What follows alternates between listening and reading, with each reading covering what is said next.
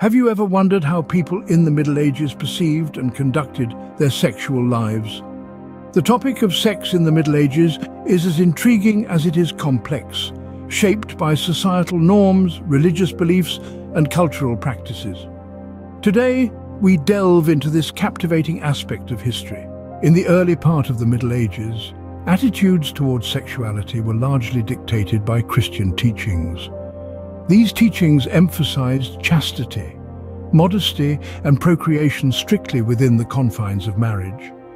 Sex outside of wedlock was viewed as a sinful act, punishable by law or at the very least social ostracism. But life, as it often does, found its way around these stringent norms. Instances of premarital sex, adultery and even prostitution were not unheard of, subtly challenging the established order. As we move further into the Middle Ages, Marriage emerges as a crucial institution.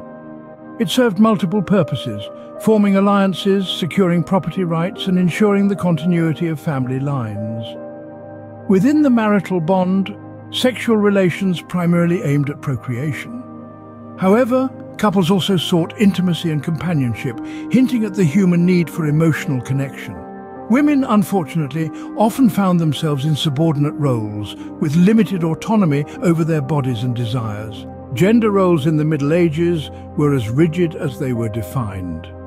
Men were the power holders, the decision makers, while women were expected to be obedient wives and devoted mothers. Masculinity was viewed through the lens of strength, virility and control over sexual urges, Femininity, on the other hand, was associated with purity, modesty and submission. One cannot discuss sex in the Middle Ages without acknowledging the significant role of religion. Christianity, in particular, played an instrumental part in shaping sexual behavior. The church was the moral compass, enforcing strict codes of conduct regarding sex.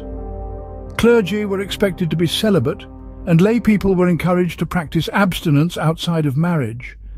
Confession and penance became tools for repenting sins related to sexual misconduct.